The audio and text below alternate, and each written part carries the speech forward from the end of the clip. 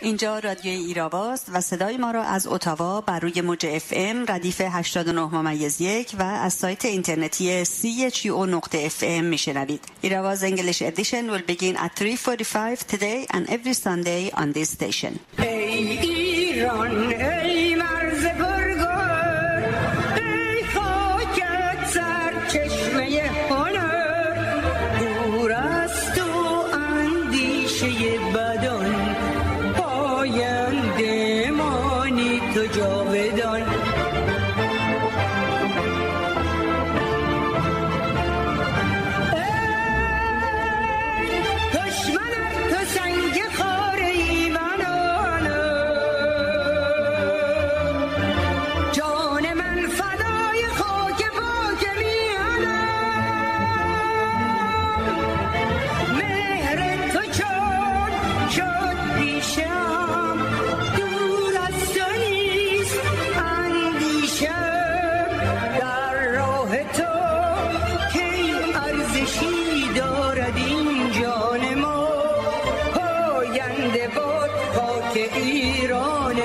در مسلخ عشق جز نکو را نکشند.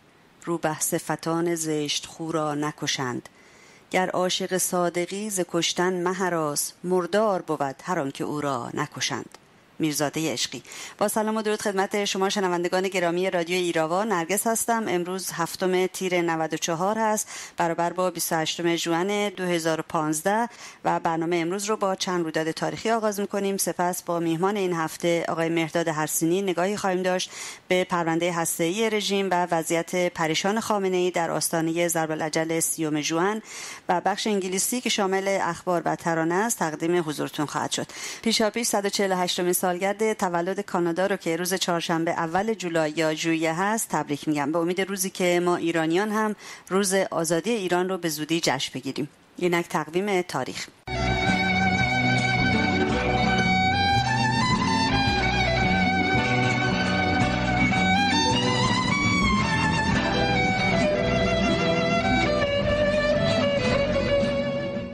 در هفتم تیر سال 1360 بر اثر انفجار بمبی در مرکز حزب جمهوری اسلامی ده تن از سران رژیم کشته شدند. در میان کشته شدگان محمد حسین بهشتی رئیس قوه قضاییه وقت رژیم نیز دیده می‌شد. رژیم ام داشت رقم کشته های حزب جمهوری اسلامی که معروف به حزب چماق به دستان بود را در رقم 72 نگه دارد و آن را با رقم شهدای کربلا تشبیه می‌کرد. در روز هفته تیر سال 1287 بلافاصله پس از اینکه خبر کودتای محمد علی شاه و شکست انقلاب مشروطه در تهران به شهرستان ها رسید طرفداران استبداد در تمام شهرها بر سر مجاهدان و مشروط طلبان ریخته و آنها را دستگیر و یا انجمنهایشان را تعطیل می‌کردند. اما در تبریز از مدت قبل ستارخان و سایر انقلابیون خطر را حس کرده و به تشکل و بسیج مردم پرداخته و به آموزش نظامی های مسلح مردمی اقدام کرده بودند. وجود جنگاوران مسلح و آموزش دیده و نیز فرماندهی و رهبری ستارخان و باقرخان علی موسیو حاج علی دوافروش حاج مهدی آقا و دیگران مانع تسلیم در تبریز گردید. در روز هفت تیر سال 1362 مردم منطقه افسریه تهران در اعتراض به عدم رسیدگی کارگزاران رژیم به مشکلاتشان به ویژه قطع مکرر و طولانی آب و برق دست به تظاهرات گسترده زدند. چندین هزار تظاهر کننده با شعار آب آب افسری کربلا شده قحطی آب شده به سمت مجلس رژیم سرازه شدند. در این هنگام پاسداران با پرتاب گاز اشکاور و تیراندازی به مردم حمله کردند. در جریان حملات پاسداران به مردم و درگیری متقابل آنها دو اتومبیل ماموران به آتش کشیده شد و تعدادی از آنان با سنگ و آجر زخمی شدند. از اهالی منطقه افسریه نیز یک تن شهید و تعداد زیادی مجروح و صدها نفر دستگیر شدند. در 11 تیر سال 1373 روزنامه حکومتی خبر از کشف جسد اسقف تاتو اوسمیکایلیان رئیس شورای کشیشان پروتستان ایران دادند. این ترور که توسط ماموران وزارت اطلاعات انجام گرفته بود به دنبال روبودن اسقف میکائیلیان در روز هشتم تیر در تهران صورت گرفت اسقف میکائیلیان 62 ساله و جانشین کشیش حسبیان مهر رئیس پیشین شورای کشیشان پروتستان ایران بود که سال قبل از آن توسط پاسداران به قتل رسید. رژیم سعی کرد این جنایت را به گردن مجاهدین خلق بیاندازد ولی چهار سال بعد یعنی در روز 13 آذر سال 1377 اکبر گنجی طی مقاله در روزنامه آریا اعلام کرد. وزارت اطلاعات کشیشان مسیحی که نظام سیاسی ما را قبول نداشتند به قتل رساند و به گردن مجاهدین انداخت. استدلال وزارت اطلاعات این بود که این کار ما را از روحانیون مسیحی خلاص و در ضمن سازمان مجاهدین را بی آبروتر می‌کرد. در روز سوم ژوئیه 2003 برابر با 12 تیر 1382 مریم رجوی رئیس جمهور برگزیدگی شورای ملی مقاومت به دنبال 16 روز بازداشت غیرقانونی از زندان وزارت کشور فرانسه آزاد شد. این آزادی بر اثر استمرار تحسن و اعتصاب غذای صدها نفر در فرانسه و دیگر کشورها و خودسوزی 19 تن و به شهادت رسیدن صدیقه مجاوری و ندا حسنی تحقق پیدا کرد. حمایت همسایگان و اهالی اوور شهردار و انجمن شهر و بسیار از اهالی استان والدواز و نیز بسیاری از شخصیت های فرانسوی از مریم رجوی دولت وقت فرانسه را مجبور به پایان دادن به بازداشت غیرقانونی مریم رجوی کرد و او در روز سوم ژوئیه به محل اقامت خود بازگشت. مجله به نام آریا در ایران که عکسی از آزادی مریم رجوی را درج کرده بود توسط رژیم توقیف و دستندرکارانش دستگیر شدند. روز 12 تیر سال 1303 میرزاده عشقی شاعر و روزنامه‌نگار توسط ماموران رضاشاه به شهادت رسید. میرزاده عشقی در سال 1272 در همدان متولد شد. در 17 سالگی برای ادامه تحصیل به تهران رفت و در اوایل جنگ بین‌الملل اول به استانبول مهاجرت نمود. عشقی پس از بازگشت به ایران با دولت وسوق و دوله به مخالفت برخاست و مدتی زندانی شد. در آثار او از شعر تا قصه و نمایشنامه به چشم می‌خورند. از جمله اشعار معروف وی جمهوری نامه است که در مخالفت با رضاخان سروده. عشقی در روز پنجشنبه 12 تیر سال 1303 به دستور رضاخان ترور شد. برای تجلیل از او سی هزار تن از مردم تهران در مراسم خاکسپاریش شرکت کردند. بنابر برخی اسناد تاریخی مازیار قهرمان ملی و حکمران منطقه تبرستان روز سوم ژوئیه سال 839 میلادی مطابق با سال 224 هجری قمری در سامرا توسط المعتصم خلیفه عباسی به دار آویخته شد. مازیار از سرداران میهن پرست ایرانی بود که پس از اینکه از جانب خلیفه عباسی حکمران منطقه تبرستان شد اعلام استقلال کرد ولی طی توطئه‌ای بر اساس خیانت اطرافیان توسط عمال خلیفه دستگیر و سرانجام اعدام شد. اینک توجه شما را به نگاهی به مهمترین رویدادهای هفته جلب می کنم.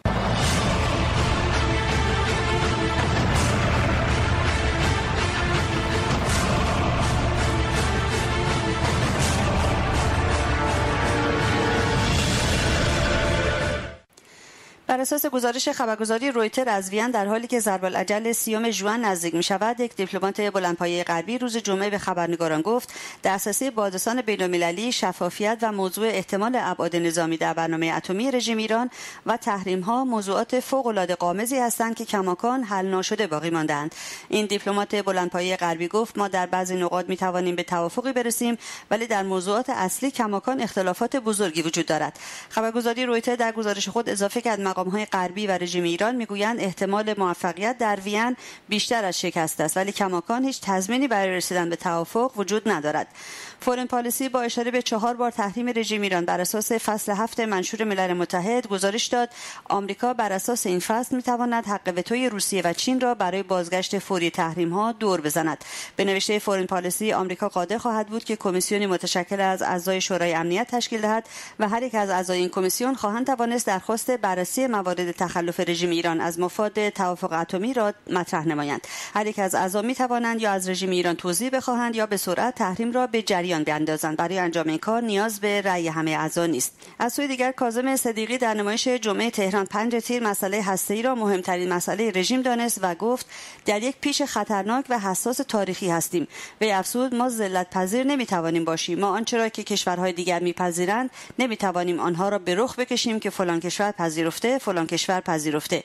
ما جایگاه خودمان را داریم. صلابت امام و ولایت را باید این تیم مذاکره کننده حفظ بکند. این هم به دعا نیاز دارد هم به توسل نیاز دارد هم به نظارت نیاز دارد و هم به ارشاد دائم و تذکر دائم. امروز در بخش مصاحبه با آقای مهداد هرسینی بیشتر به این موضوع خواهیم پرداخت. مقاومت ایران زدوبند دولت استرالیا با رژیم ایران علیه پناهجویان ایرانی را قویا محکوم کرد و از دولت استرالیا خواست به بدرفتاری و اخراج پناهجویان خاتمه دهد و با اعطای حق پناهندگی به آنان اجازه ندهد این پناهجویان در خارج از حاکمیت رژیم نیز با ظلم و تبعیض و فقر و گرسنگی و خطر مرگ مواجه باشند. در اطلاعیه شورای ملی مقاومت به تاریخ 31 خرداد از جمله آمده است. اعمال فشار و بازگرداندن پناهجویان در حالی صورت می‌گیرد که امواج فزاینده سرکوب و مجازات اعدام هر روز از مردم به ویژه جوانان ایرانی قربانی می‌گیرد. تنها در دوران ریاست جمهوری روحانی 1800 زندانی اعدام شدند در چنین شرایطی برگرداندن پناهجویان به جهنم آخوندی به هر بهانه‌ای که باشد معنای جز همدستی به آخوندها در سرکوب مردم ایران ندارد. خبرگزاری حکومتی ایرنا 29 خرداد نوشته بود ایران و استرالیا در حال دستیابی به توافقی هستند که بر اساس آن مهاجرانی که فاقد شرایط پناه پناهجویی هستند و از طرفی بازگشت داوطلبانه به ایران را نمیپذیرند به ایران بازگردانده شوند. اطلاعیه شورای ملی مقاومت افزود. بنابراین خبر دولت استرالیا در مقابل بازگشت مهاجرانی که فاقد شرایط پناهجویی هستند بورسیه های مختلفی به دانشجویان ایرانی اعطا می کند بورسیه هایی که در اساس به پاسداران و مزدوران رژیم تعلق می گیرد وزارت امور خارجه رژیم نیز فرار مردم از ایران را ناشی از تبلیغات ایران حراسانه غرب که از ایران سیاه نمایی و از خارج بهش نمایی می کنند دانست. رئیس کل دادگستری استان فارس به های مخفیانه اعتراف کرد و گفت هر هفته حکم قصاص و اعدام در فارس انجام می شود ولی همه آنها را بین مردم نمی آوریم همه حدود را در ملع عام اجرا نمی کنیم القاسی همچنین گفت ما نیز به بازتاب بیرونی این صحنه ها رضایت نداریم و میپذیریم که باید روی مکان اجرای حکم حساسیت خاص داشت. به چند خبر اعتراضی توجه بفرمایید. روز شنبه ششم تیر پرستاران بیمارستان رازی تبریز دومین تجمع اعتراضی خود را برپا کردند. این چهارمین تجمع اعتراضی پرستاران بیمارستان های تبریز در روزهای اخیر است که طی آن پرستاران بیمارستان های سینا و مدنی نیز شرکت کردند. همچنین بخش قلب بیمارستان مدنی یک روز تعطیل شد. پرستاران برای تجمع دیگر در سایر بیمارستان های تبریز فراخوان دادند. جمعی از معلمان تهران در مقابل زندان اوین دست به تظاهرات و اعتراض زدند. آنان همراه یکی از دبیران کانون صنفی معلمان که توسط رژیم ممنوع خروج شده دست به این اعتراض زده و خواهان رفع محدودیت از اعضای کانون صنفی معلمان شدند. صبح شنبه ششم تیر جمعی از فارغ التحصیلان ایرانی رشته های علوم پزشکی در کشورهای شرق اروپا و آسیا در برابر وزارت بهداشت رژیم در اعتراض به وضعیت شغلیشان تجمع کردند. روز شنبه ششم تیر نیز جمع زیادی از دانشجویان دانشکده منابع طبیعی بهبهان در اعتراض به احکام کمیته انضباطی در مورد شش تن از دانشجویان دست به تظاهرات و اعتصاب زدند. همچنین شنبه ششم تیر ماه دانشجویان دانشگاه آزاد شهرستان شوش در اعتراض به وضعیت نامناسب فضای سالن امتحانات دست به اعتراض زدند. مقامات دانشگاه با وارد کردن نیروی حراست قصد ساکت کردن دانشجویان را داشتند که دانشجویان معترض با ماموران حراست دانشگاه درگیر شدند. کارگزاران رژیم در وحشت از گسترش دامنه تظاهرات به بیرون دانشگاه ماموران انتظامی را وارد کردند. روز چهارم تیر جمعی از مالباختگان مؤسسه اعتباری میزان در شهر بجنورد اقدام به آتش زدن ساختمان مؤسسه کردند. نیروی انتظامی در وحشت از گسترش خبر این تجمع اعتراضی تمامی خیابانهای اطراف آن را بست و اجازه نزدیک شدن به جمعیت را نمی‌داد. در همین روز جمعی از مردم اهواز در اعتراض به قطع مکرر و طولانی برق در روزهای اخیر در مقابل استانداری تجمع کرده و به ادامه این وضعیت در گرمای تابستان اعتراض کردند. حضور نیروی جوان زن و مرد در این تجمع اعتراضی چشمگیر بود. روز یکشنبه هفتم تیر جمعی از افراد تحت پوشش تامین اجتماعی در اسلام آباد در اعتراض به پرداخت نشدن حقوقشان در مقابل فرمانداری این شهر تجمع کردند. در همین روز شماری از کارگران مثل خاتون آباد شهر بابک نیز تجمع و نسبت به تصویب حکم اخراج کارگران اعتراض کردند. کارگران تهدید کردند اگر اخراج آنها عملی شود تجمع بعدی همراه با خانواده هایشان خواهد بود. روز شنبه ششم تیر شماری از کارگران شرکت زوباهن آلیاژی ملایر در اعتراض به پرداخت نشدن حقوق عقب افتاده در برابر این شرکت تجمع کرده و مانع از ورود و خروج وسایل نقلیه شدند روز شنبه ششم تیر جمعی از یارسان پیروان اهل حق شهرستان صحنه در استان کرمانشاه در برابر فرمانداری رژیم در کرمانشاه تجمع کردند. تجمع کنندگان به اخراج پیروان حق از ادارات دولتی اعتراض داشتند. روز شنبه ششم تیر ماموران حکومتی 90 جوان تبریزی را در هتل شهریار تبریز به بهانه روزخواری دستگیر و به مکان نامعلومی منتقل نمودند. بنا به گفته یکی از والدین این جوانان دستگیر شدگان دانشجویان دانشگاه آزاد اسلامی بودند که برای شرکت در جشن فارغ التحصیلی در این هتل گرد آمده بودند. پیش از این نیز ماموران انتظامی جوانان تجمع کننده در این هتل را که برای شنیدن موسیقی گرد هم آمده بودند مورد ضرب و شتم قرار دادند. جمعی از کشاورزان شهرستان آقلعه در استان گلستان در مقابل فرمانداری رژیم در این شهرستان تجمع کرده و به پرداخت نشدن قیمت محصولات کشاورزی خود توسط شرکت های تعاونی روستایی رژیم اعتراض کردند. تجمع اعتراضی جمع زیادی از ساکنان محله شیخ خادی در اعتراض به قطع شدن تلفن به مدت زیاد در مخابرات منطقه 12 تهران موجب وحشت کارگزاران رژیم از گسترش دامنه اعتراض شد و سراسیم تلاش کردند با دادن قول مساعد جمعیت خشبگیر را متوقف کنند. روز شنبه ششم تیر نیز کارگران کارخانه سیمان آبیک در استان قزوین برای دومین بار دست به تجمع اعتراضی زدند این اعتراض به دلیل عملی نشدن قول پرداخت حقوقهای پرداخت نشده. از سال 93 کارگران با شرکت کارکنان و رانندگان بخش حمل و نقل و سایر کارگران برگزار گردید. روز جمعه 26 ژوئن چهار کشور مورد حملات تروریستی قرار گرفتند که دهها کشته و زخمی بر جای گذاشت. این کشورها عبارت بودند از فرانسه، سومالی، تونس و کویت. در فرانسه به دنبال سربریدن یک کارگر شرکت گاز فرانسوا اولاند رئیس جمهور فرانسه آماده باش امنیتی را در سطح حمله یعنی بالاتر بالاترین سطح ممکن در این کشور را اعلام کرد. در کویت نیز پس از تهاجم تروریستی به مسجد امام صادق یک روز عزای ملی اعلام شد. این حمله تروریستی که توسط فردی به نام ابو سلیمان الموحد صورت گرفت را داعش به عهده گرفته است. به گفته وزارت کشور کویت تعدادی افراد مشکوک به دست داشتن در انفجار مسجد امام صادق در پایتخت این کشور دستگیر شدند.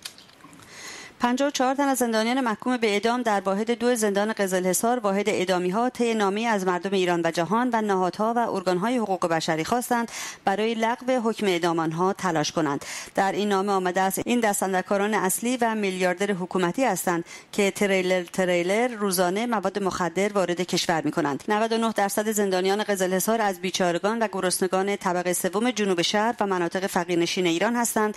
ما از مردم شریف ایران و جهان و تمامی نهادهای حقوق بشری می خواهیم. به داد ما مظلومین برسند. آنها همچنین اعلام کردند با توجه به خطر اعدام فوری ما از اعلام اسامی خود معذوریم.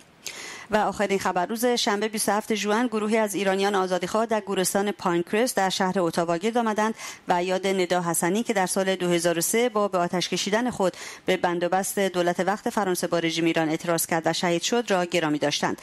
امسال دوازدهمین سالگرد شهادت دختر شجاع شهرمان نداست. همچنین امسال ششمین سالگرد درگذشت مادر قهرمانش فروغ حسنی نیز می باشد فروغ با مقاومت در برابر همه حملات و ترفندهای رژیم ایستادگی کرد و همواره از اقدام شجاعانه دخترش ندا حمایت می‌کرد. این مراسم با گلگذاری بر سر خاک این عزیزان و سخنان احمد حسنی پدر شجاع و مقاوم ندا برگزار شد. ندا و فروغ در کنار سحر جوان نازنینی که سه سال پیش در پی بیماری سرطان فوت کرد آرامیدند این بود نگاهی به مهمترین رویدادهای هفته جهت دسترسی به آرشیو ایراوا لطفا به وبسایت رادیو com مراجعه بفرمایید. روزی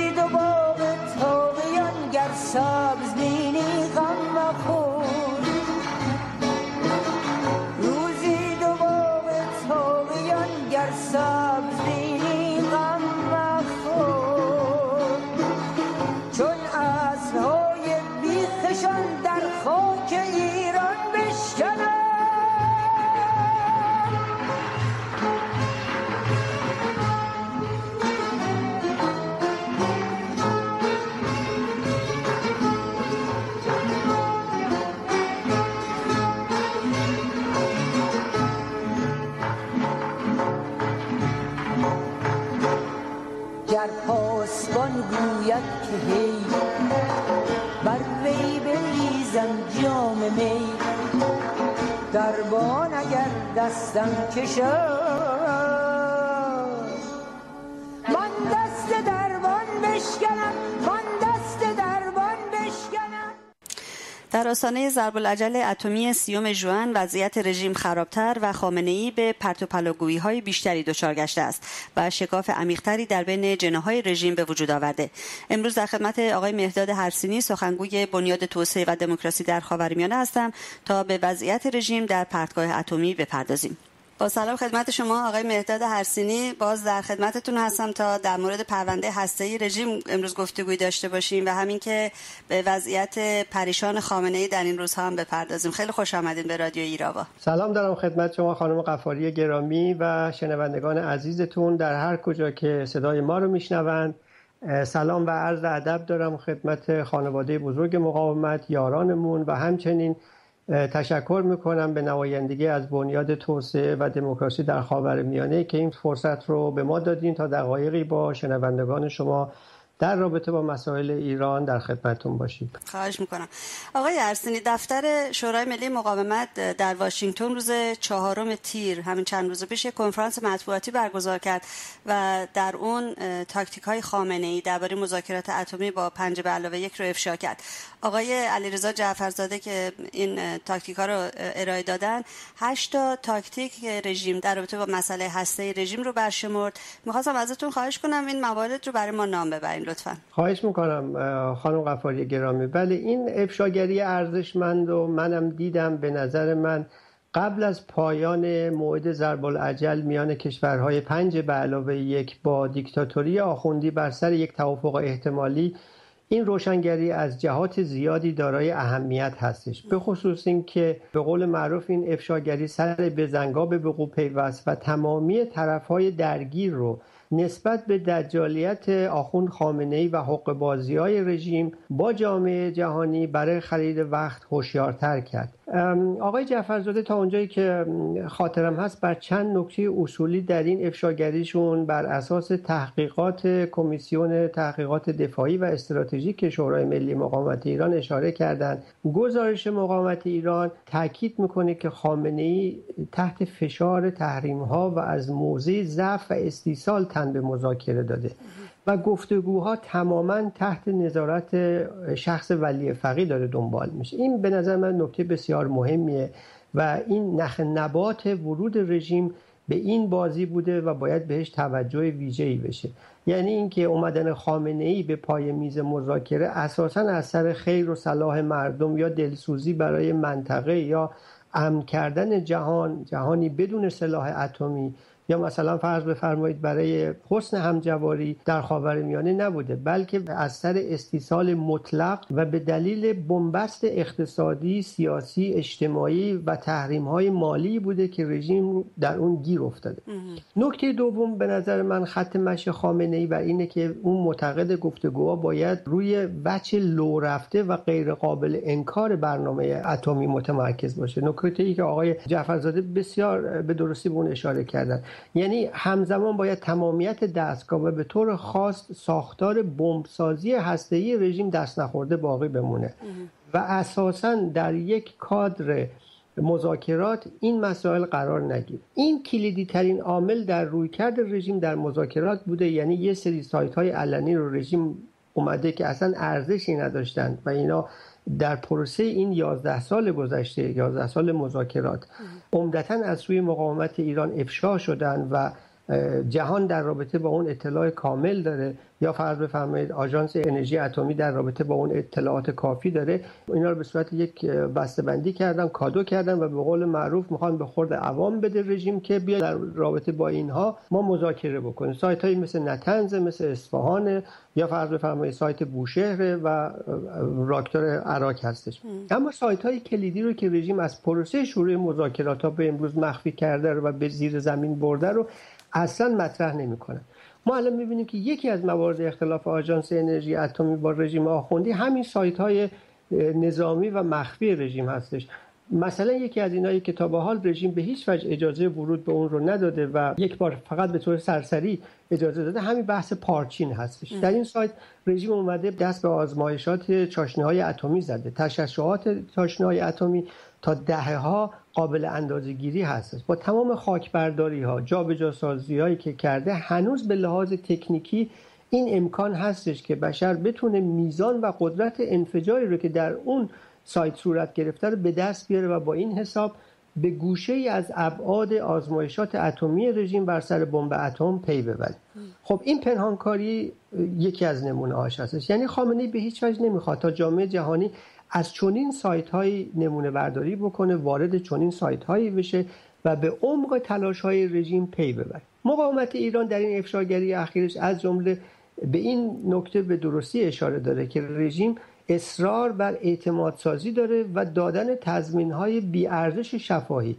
مستمرا از پاسخ به سوالای جدی و مشخص به خصوص درباره ابعاد نظامی اتمیش داره تفره میره.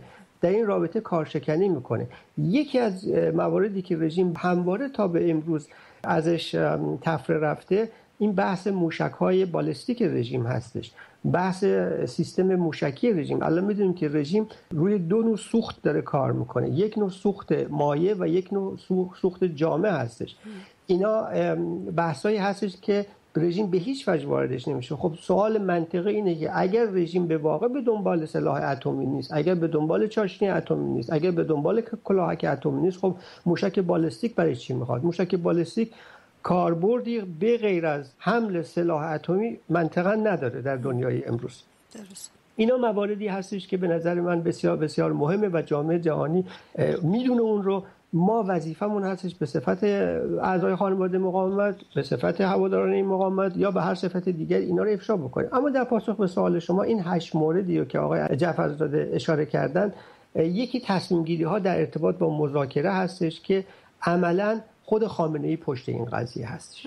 رژیم تلاش می‌کنه که برنامه نظامیش رو به هیچ وجه وارد مذاکره اتمی نکنه و اونها رو به مینیموم ممکن و در حاله از ابهام نگه بداره مذاکرات و توافقات بر سر موارد افشا شده هستش یعنی اصلا وارد موارد جدید و هیته جدید نمیشن. اصل پرده پوشی و به قول معروف عدم پاسخ قاطع ضروری به نکات و ابهامات به ویژه ابهاماتی که آژانس داره. می‌دونید که آژانس با رژیم به واقع در یک چالش جدی قرار گرفته. آژانس ابزار جامعه بین المللی برای این هستش که راستی و درستی صحبت ها و تلاش های رژیم رو محک بزنه.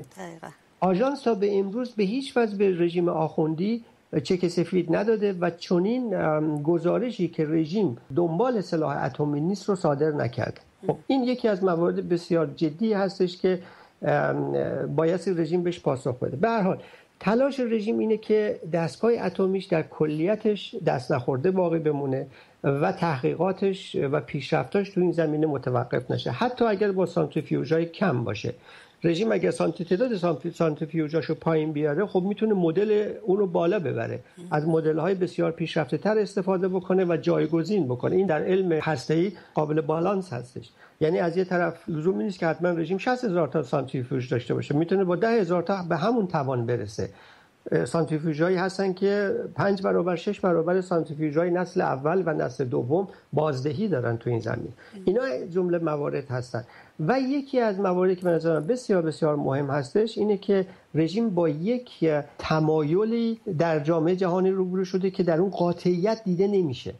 و این باعث شده که بهترین پوش شده برای رژیم که بیاد و این پروژه های اتمی رو به موازات مذاکرات اتمی به پیش ببره.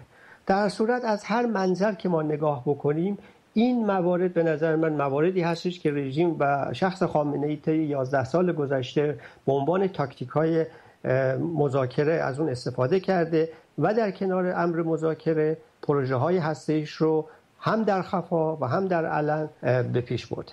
ولی آقای هرسینی با توجه به نزدیک شدن ضرب العجل سیوم جوان که همین چند روز آینده است و تصمیمات نهایی بر سر مسئله اتمی رژیم به نظر شما چرا خامنه اینقدر چانه زنی می‌کنه پس؟ ببینید خانم غفاری گرامی خامنه ای به نظر من به عمد می‌خواد جامعه جهانی رو بر سر یک دوراهی قرار بده یعنی یا جنگ یا ادامه همین سیاست مماشات. این تاکتیک رژیم از آغاز شروع مذاکرات بوده. در سوال قبلی من خدمتون عرض کردم که در سیاست جامعه بین المللی حداقل طرفایی که با رژیم سر یک میز میشینن قاطعیتی دیده نمیشه. و خامنه این رو به خوبی فهمیده. تاکتیک رژیم از آغاز شروع مذاکرات این بوده. به موازات اونم مذاکره رو به پیش ببره وقت بخره و در خفا پروژه بمب اتمیش رو جلو ببره. آخوند روحانی به سراحت سال گذشته تو این زمینه گفته بود که ما می‌خوایم کاری کنیم که هم چرخ اقتصادیمون به چرخه هم سانتریفیوژمون به چرخه. یعنی خط قرمز رژیم در این دور اینه که رژیم رو از زیر فشار تحریما بیرون بیارن با مذاکره و دادن آوانسایی که اساسا ارزش چندانی دیگه ندارن. ممکنه این آوانسا در ده سال گذشته خیلی ارزشمند می بودن الان با توجه به مجموع افشاگری ها و با توجه به شدت و حدت روند تحولات ارزش چندانی نداره در کنارش بیاد و به یک منابع مالی که از دست داده دوباره دسترسی پیدا بکنه. خود رژیم میگه من چیزی حدود 180 میلیارد پول و اموالم در خارج بلوکه شده. این پول رو می‌خواد بیا چیکار بکنه؟ می‌خواد در از طریق این مذاکرات و به قول خودمون ماسمالی کردن مذاکرات به دستگاه سرکوب و دیکتاتوریش وارد بکنه و به اون یک دوام و قوام ببخشه. کارگزارای رژیم از رقمی معادل 180 میلیارد تا 210 میلیارد صحبت می‌کنن که الان در خارجه بلوکه شده. ورود این پول به خزانه حکومتی به یقین من فکر نمی کنم در راستای بهبود شرایط زندگی مردم، آسایش، آبادانی، سازندگی و رفاه اقتصادی به کار گرفته بشه. بلکه در وهله نخست برای دستگاه سرکوبگر رژیم یعنی سپاه پاسداران نیروی تروریستی قدس لباس شخصی ها اطلاعات عوامل سرکوبگر بسیج انصار حزب الله باندهای سیاه حکومتی به یقین مصرف میشه. اگه چیزی باقی بمونه به نظر یعنی یک درصد هزارم اون رو شاید برای مردم بتونن خرج بکنن. به این میگم فریبکاری. یعنی کلاه گذاشتن بر سر مردم ایران با شعار قلابی انرژی هسته حق مسلح ماست و هم کلاه گذاشتن سر جامعه جهانی با شعار اعتدال و همکاری بین المللی تمامش به نظر من دقل و دروغ بیشتر نیستش. رژیم شیادانه داره این دو خط رو به موازات هم به پیش می‌بره. متاسفانه متاسفانه این سیاست در سایه سیاستی به نام مماشات داره صورت می‌گیره. رژیمی که الان همه طرف های درگیر رو به گروگان گرفته. با همین اهرام اتم با بمب اتم و با اینکه اگه امتیاز ندید میرم و بمب اتم می‌سازم. میرم عراق رو به آشوب می‌کشم. میرم یمن رو به آشوب می‌کشم. سوریه و لبنان و فلسطین و بحرین و غیره. مقاومت ایران تا اونجایی که من می‌فهمم مجاهدین خلق ویژه خانم رجوی به عنوان قربانیان این نظام ضد مردم این سیاست رو به درستی به چالش کشیدن. اینا خوب می‌دونن که رژیم چه نقشه در سر پرورونده و این رو جزو مهم امور میهنی و ملی و تاریخی خودشون قرار دادن تا از دستیابی رژیم به سلاح اتمی با تمام قوا جلوگیری به عمل بیارن.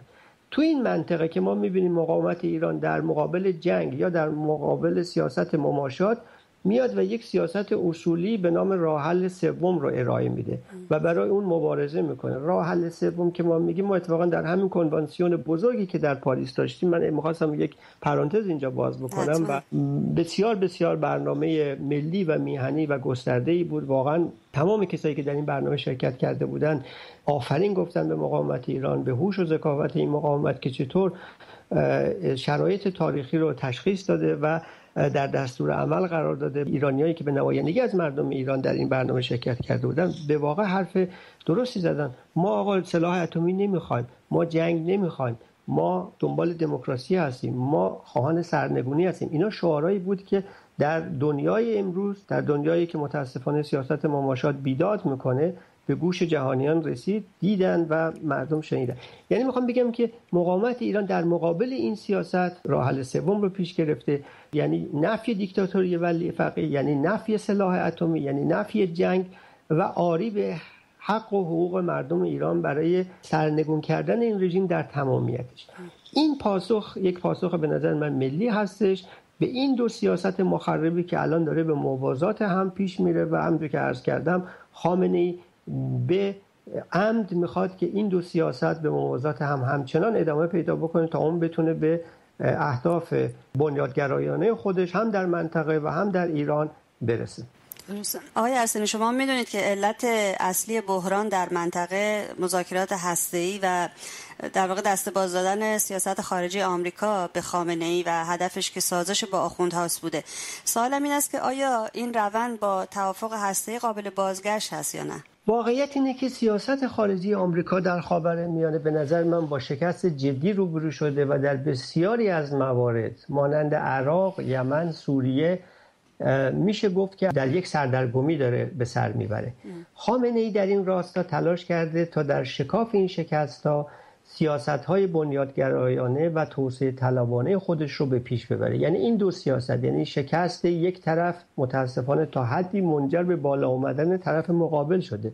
یعنی دیکتاتوری مذهبی این خلل رو تونسته خوب درک بکنه و جاپا سفت بکنه در این خلا برای خودش. در تمامی زمینه ها که نگاه می‌کنیم ما الان در سایه شکست سیاست خارجی ایالات متحده یک خلای جدی رو می‌بینیم. رژیم آخوندی تلاش داره با نیروی تروریستی قدس با سپاه پاسداران با رشد بنیادگرایی مذهبی دامن زدن به اختلافات سنی و شیعه این خلا رو پر بکنه. بزرگترین اشتباه در منطقه به نظر من نبود یک برنامه منسجم برای دموکراتیزه کردن منطقه هستش. این خودش بزرگترین عامل برای رشد بنیادگرایی. اما خامنه ای در یک دوران با اهرام جنگ و ترور سیاستاش رو به پیش می برد و با اون مسائل رو حل و فصل می کرد طرف مقابلم بدش نمی اومد و این رو با انواع چراغ و چشمک ها به عنوان امتیاز به جناح مدره رژیم تلقی می‌کرد و اونو میفروخت براشون. این باب مذاکره طرفین با جمله کم یا بیش بوده. بالاخره تا الان به پیش بردن. الان اما چرخ قضایا به نظر من برگشته بر پاشنه دیگه ای در داره میچرخه. یعنی یک نیروی بومی از دل این تضادها به بیرون زده به نام ائتلاف کشورهای منطقه‌ای با الهام از مقاومت ایران و شخص خانم رجوی. یعنی همون ایده جبهه ضد بنیادگرایی. حالا به هر اسمی که اینا دارن این ائتلاف رو به پیش می‌برن محتواش اینه. کشورهای عربی اسلامی از این وضعیت و این ادامه سیاست مماشات با دیکتاتوری خامنه خسته شدن. به صراحت میگن که ما دیگه به سیاست های خارجی امریکا در منطقه اعتمادی نداریم. این سیاست راه برده به اونجا که رژیم در آستانه ساخت بمب اتمی هستش. می‌بینه که چطور خامنه ای در سایه این سیاست طرح کشورگشایانه رو به پیش می‌بره. با این سیاست رژیم میره سر میز مذاکره و امتیاز می‌گیره. یعنی اگه ما به تاریخ وقایع نگاه بکنیم می‌بینیم به مجرد اینکه مذاکره با رژیم به پیچ و خم جدی برخورد می‌کنه خامنه ای یک حمله تروریستی می‌کنه یا یک طرح مداخله جویانه رو انجام میده تلاش می‌کنه تا تعادل رو در مذاکره برقرار بکنه. این سیاست متاسفانه راه به این برده که رژیم دست به کشورگشایی زده. داره الان هلال شیعه رو از جنوب خلیج فارس تا دریای مدیترانه تشکیل میده. عملا سران رژیم و کارگزاران حکومتی بابلبنده و دریای مدیترانه رو خط استراتژیک رژیم اعلام کردن. خب با این ائتلاف کشورهای عربی و اسلامی من می‌خوام بگم که یک سفارایی جدی در مقابل این بنیادگرایی رژیم و کشور گشای آخوندها به وجود اومده. فعلا در یمن دست به فعالیت زدن. بعدش هم تا اونجا که من می‌فهمم به عراق و سوریه و لبنان و فلسطین خواهند رفت و در اونجا رژیم رو به چالش خواهند کشید. با این سخنان می‌خوام تاکید کنم که چشمانداز دیگه اون چشمانداز سابق نیست و به یقین چرخ قضایا شما در صحبتاتون سوال کردین به عقب به نظرم بر نخواهد گشت. منطقه دستخوش یک تحول فکری و استراتژیک جدی و موثر شده که سیاست های کلی رژیم آخوندی رو به چالش بکشه این سیاست چندان باب طبع مماشاتگرایان نیست چرا که اونا میگن ببینید شما تمام سیاست های ما رو به هم زدیم ما مشغول مذاکره هستیم و این باعث میشه که رژیم دلخور بشه و سر میز مذاکره نیاد. ما در یمن الان مثلا شاهد یه همچین سیاستی هستیم. می‌بینیم کاملا. این یک تحولی در یمن صورت گرفته. در عراق ایزن تحولی داره صورت گیره سوریه الان درگیر جنگ نیابتی هستش. خود رژیم دیگه عملا مجبور شده که تمام پرده ها رو کنار بزنه و قوا و نیروهای تروریستیش رو وارد صحنه بکنه. من روز گذشته خبری شنیدم که 400 تن از عوامل و فرمانده های رژیم توی جنگ های سوریه به هلاکت رسیدن. و خب این عمق فاجعه رو نشون میده. یعنی می‌خوام بگم بسیاری میان به اشتباه پدیده داعش رو مثلا فرض بفرمایید در این زمینه یک فاکتور مستقل ارزیابی می‌کنن. در حالی که به نظر من اشتباه این ارزیابی. پدیده داعش پدر بزرگ داعش در تهران نشسته. اتفاقا من خاطرم هست که خانم رجبی توی یکی از سخنرانی‌های خودشون تو مجلس ملی فرانسه به راهکار مقابله برای با جریانات بنیادگرایی اشاره کردن. و اینکه ببینید راه حل نخست خلیت و خارج کردن رژیم از سوریه و عراق و یمن. یعنی این سه تا کشور این سه تا جبهه‌ای که رژیم الان درش در جنگ مستقیم قرار گرفته بایستی تعیین تکلیف بشه. و بعدش هم مهمتر از همه تغییر رژیم در ایرانه. تا موقعی که ما نیاییم و رژیم چنج رو در دستور کارمون نذاریم و همش به دنبال مماشات با رژیم باشیم یقینا آبشخور زمینه های فرهنگی، فکری، لوجستیکی، سیاسی و مالی رو برای بنیادگرایی و تروریسم هموار کرد. این وضعیتی که به نظر من امروز در منطقه هستش و در رابطه با سوال شما به نظر من گذشته از اینکه توافق هسته به کجا برسه آیا به توافق برسن یا نرسن من فکر می‌کنم که روند توی منطقه. روند مبارزه با بنیادگرایی. روندی که رژیم تا چند قبل پیش برده بود قبل از این تحولات اخیر این روند دیگه قابل تکرار نیستش و قابل بازگشت نیستش. یعنی سمت و سوی منطقه رو من اینجوری می‌بینم که بایستی از طریق این نیروی بومی مسائل منطقه به قول معروف یا رومی رومی بشه یا زنگی زنگی بشه. یا بایستی خامنه ای بمونه و کشورگشاییش بمونه و یا اینکه کشورهای منطقه در وضعیتی خواهند بود که بتونن مشکلاتشون رو خودشون بدون کمک خارجی حل و فصل می‌کنن درست آقای ارسینی شما بهتر از من می‌دونید خامنه ای از وقتی که اقتصاد مقاومتی رو در سال 92 مطرح کرد برای سرپیچی از خواستهای جامعه جهانی در مذاکرات هسته‌ای در واقع آماده سازی می‌کرد. ولی موضع بله. خامنه ای در مورد مذاکرات هسته‌ای هنوز مشخص نیست و به نظر میاد خامنه به پرت و پلاگویی افتاده و به قول دوستی به درد چه کنم چه کنم گرفتار شده. موضع خامنه در مورد مذاکرات چیه آقای هرسینی خواهش می‌کنم بله کاملا درسته.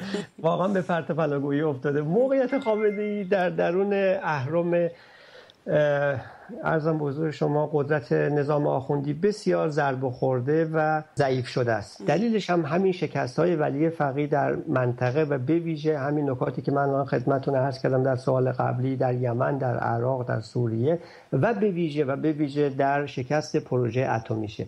این شکست ها باعث شده که خامنه ای به نظر من تعادلش رو از دست بده و یکی از دلایل تناقضگویی های ولی فقی اتفاقا ریشه تو این شکست ها داره. ببینید چند روز قبل خامنه ای سخنرانی کرد.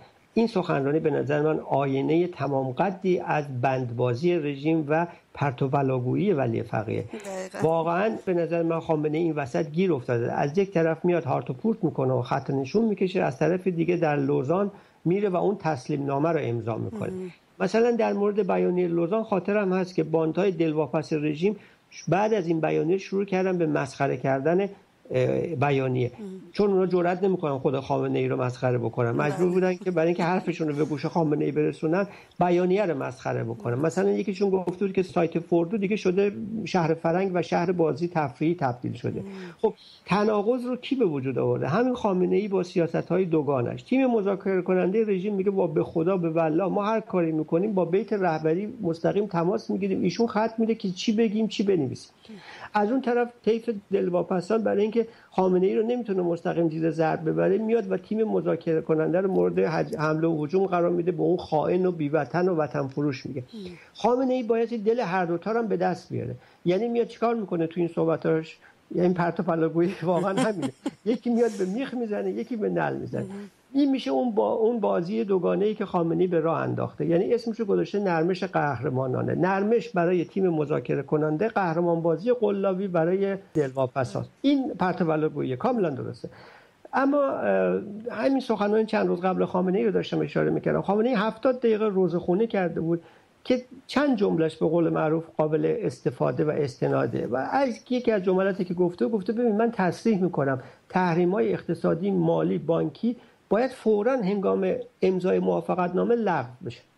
چند جمله جالبه خیلی خوب. این مثلا خواسته سقف بالای رژیمه.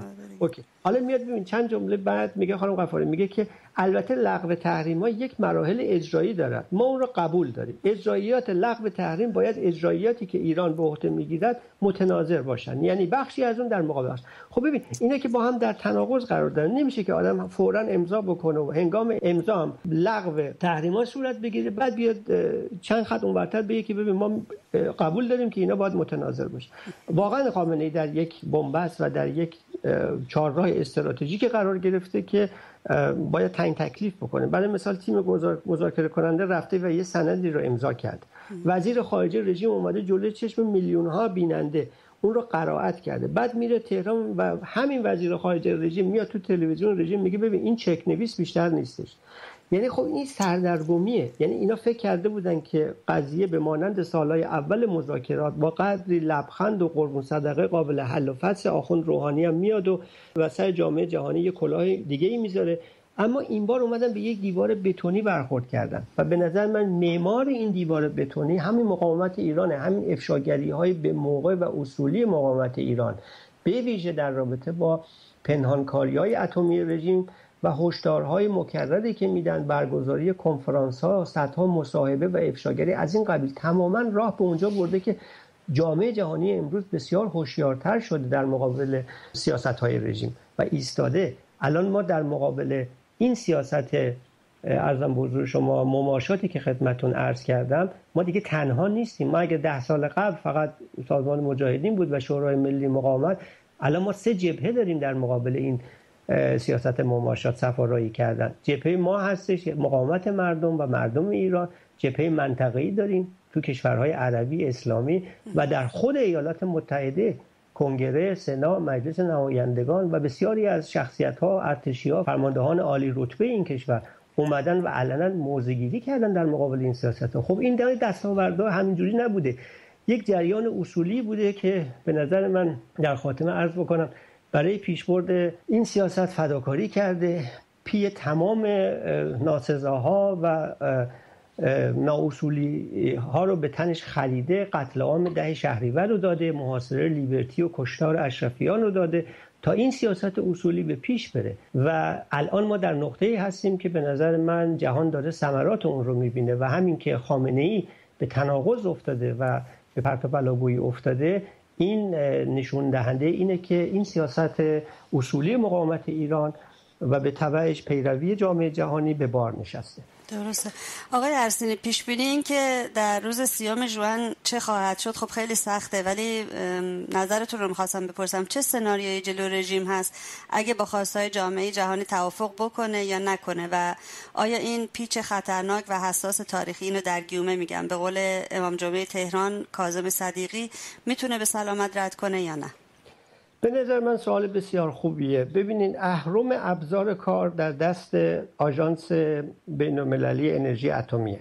یعنی با این ابزار جامعه جهانی می‌تونه بفهمه که آیا مثلا فرض بفهمه کشورهای عضو این سازمان به تعهدات خودشون پایبند بودند یا نه. همونجوری که در سوال اول خدمتون عرض کردم آژانس تا به امروز هیچ چک سفید و تاییدیه‌ای به رژیم نداده.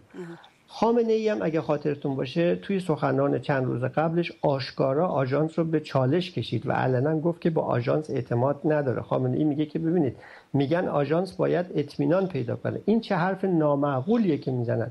چگونه اطمینان پیدا کنه؟ مگه اینکه بیاد وجب به وجب سرزمین ما رو بازرسی کنه؟ یا مثلا همین مصوبه ای که هفته گذشته مجلس حکومتی تصویب کرد. این مصوبه دولت آخون روحانی رو ملزم به حفظ دستاوردهای هسته‌ای کرده و در عمل اومده بازرسی های آژانس رو سختتر کرده.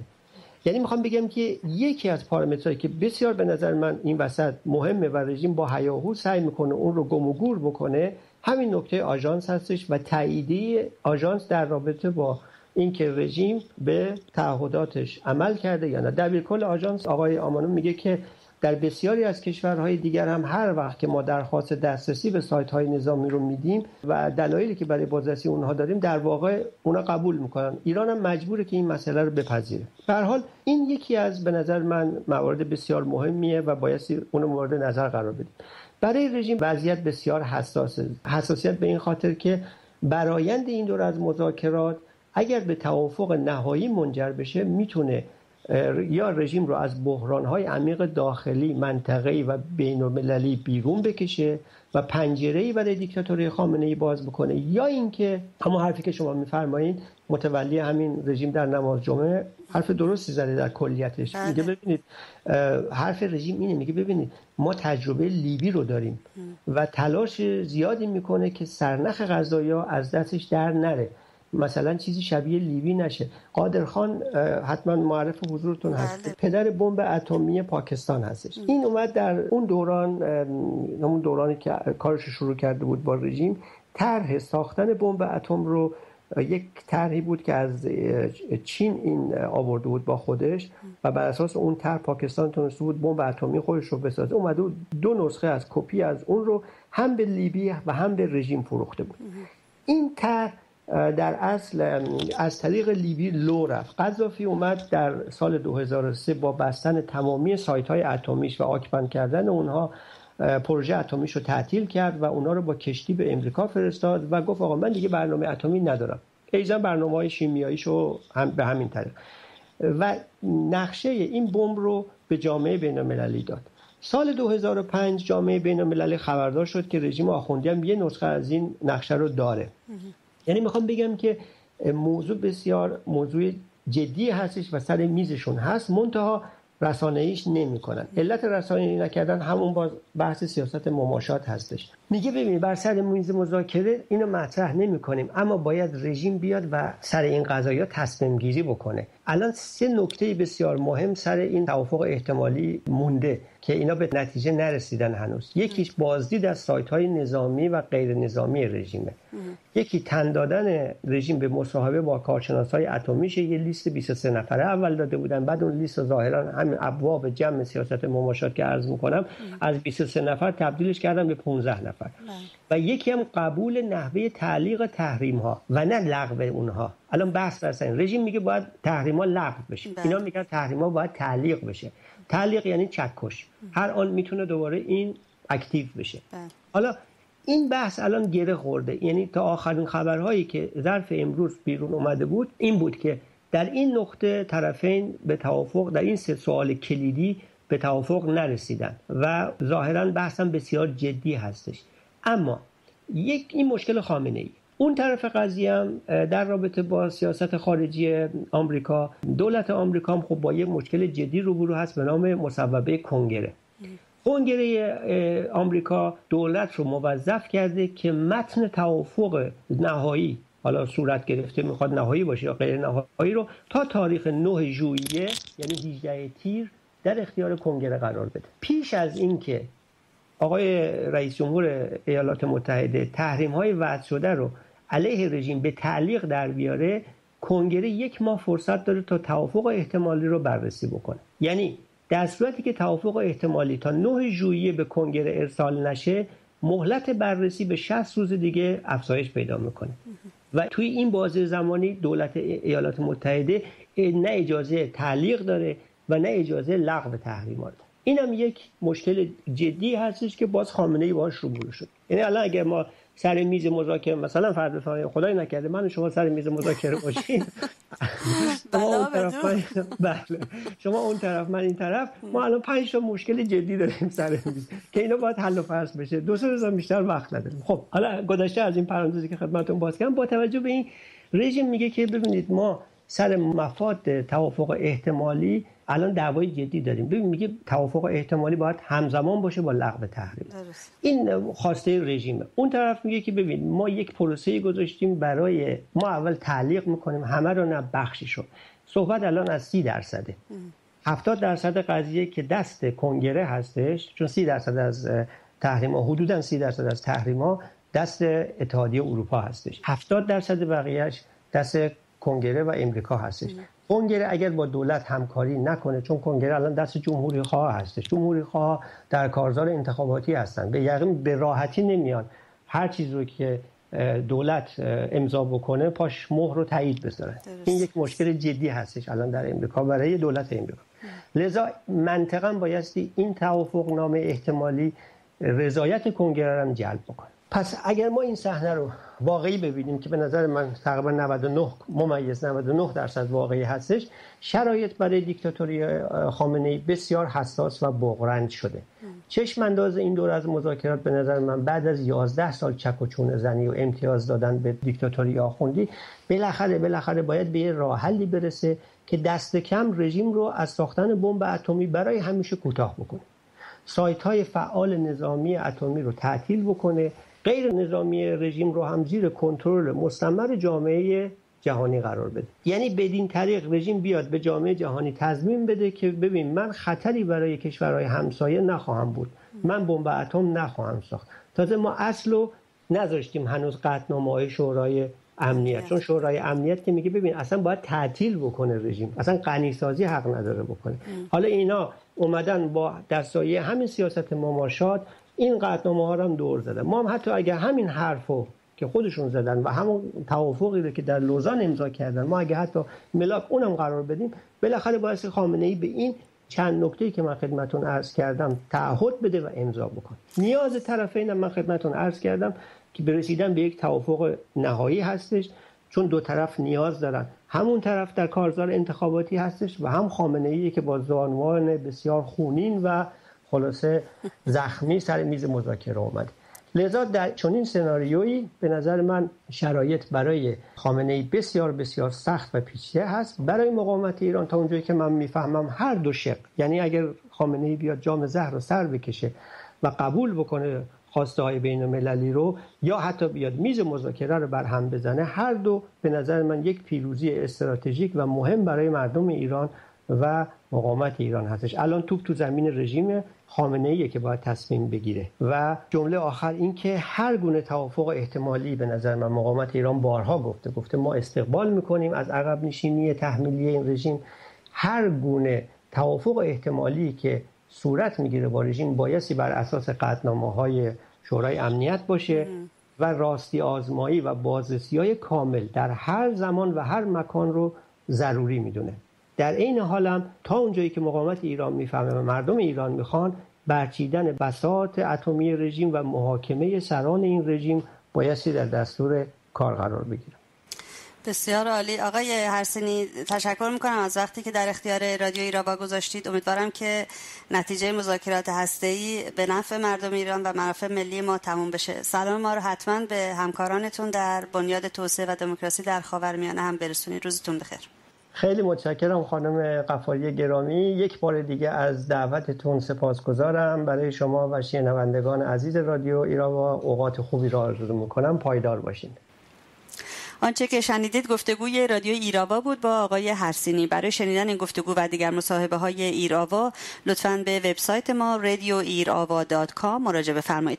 لطفا رادیو ایراوا رو در سایت های اجتماعی توییتر، فیسبوک، یوتیوب، ویمیو، گوگل پلاس و ساوند کلاود دنبال کنید. به پایان بخش فارسی این هفته رادیو ایراوا رسیدیم. ازتون بسیار متشکرم که تا این لحظه با ما همراه بودید. در صورت تمایل مهمان ما بمانید در بخش انگلیسی. یک بار دیگه 148 سالگرد تولد کانادا رو بهتون تبریک میگم و امیدوارم که در روز چهارشنبه اول جولای در هر کجای کانادا که هستید بهتون خوش بگذره. زنده باد آزادی.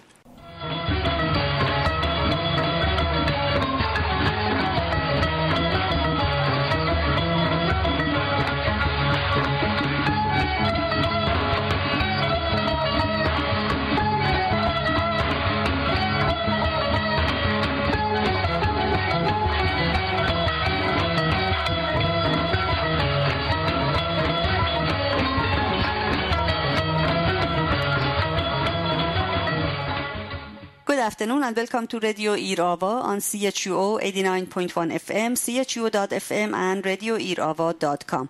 My name is Narges and today is June 28, 2015. Happy Canada Day in advance and now the news. Associated France Press reported on June 27 that global powers and Iran still need to fulfill three conditions to nail down a nuclear deal curbing the Islamic Republic's atomic program. France Foreign Minister Laurent Fabius said Saturday. We believe there are at least three indispensable conditions, Fabius said as he arrived to join the talks, highlighting a need for rigorous inspections, long lasting limits to nuclear research and development, and a mechanism to quickly reimpose sanctions. On the other hand, the monitoring international sanctions imposed on Iran in its latest report to the UN Security Council called for the sanctions to continue in the status quo. Spain's permanent representative in the United Nations and the current rotatory chair of this committee said despite the nuclear talks between the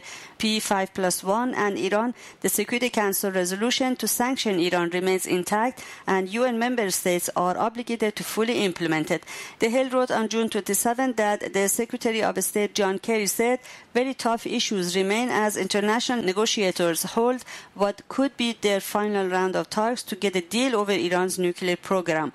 Speaking to reporters in Vienna on Saturday, Kerry said both sides are hopeful to reach an agreement. We have a lot of hard work to do. We have some very tough issues, and I think we look forward to getting down to the final effort here to see whether or not a deal is possible, Kerry said. I think that everyone would like to see an agreement, but we have to work through some difficult issues, he added. The deadline to reach an agreement with the Iranian regime is on June 30, 2015. The state-run Tasnim news agency wired a short report on June 24th on more homeless women in Iran sleeping on the streets, which paints a horrific image. In the past few days, Iran's society has been witnessing an increase in the rate of homeless people sleeping on the streets, the report reads. The Director General of Tehran Municipality and Welfare Organization said more and more women are seen sleeping on the streets.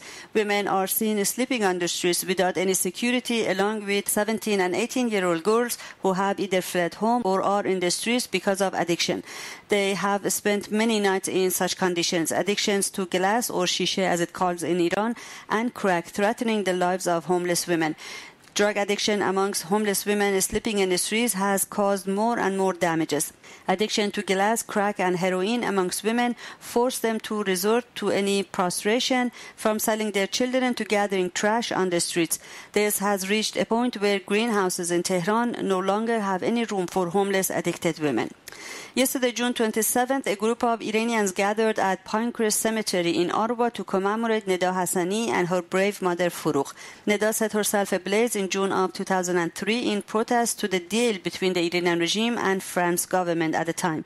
During a raid against Iranian resistance, its leader Mariam Rajavi and tens of its members were arrested by the French police on June 17, 2003. Two of the people who set themselves ablaze, Neda Hassani and Sadiq Mujaveri, lost their lives. Neda's mother, Furugh, supported her daughter's brave action till the end. Furugh died of cancer in 2009. They both are resting beside Sahar, a young and kind girl who also died of cancer three years ago. For news and more, please visit radioirava.com or go to chuo.fm and follow the links to our website. Please follow Irava on YouTube, Vimeo, Twitter, Google+, SoundCloud, and like us on Facebook as well. And that's it for this edition of Radio Irava. And thank you very much for being with us. Please tune into Irava next Sunday at 3 p.m. on CHUO 89.1 FM, CHUO.FM, or RadioIrava.com. Till then, goodbye and bedrood. And as always, long live freedom. Once again, happy Canada Day on Wednesday, July 1st, wherever you are in Canada. Have a great day.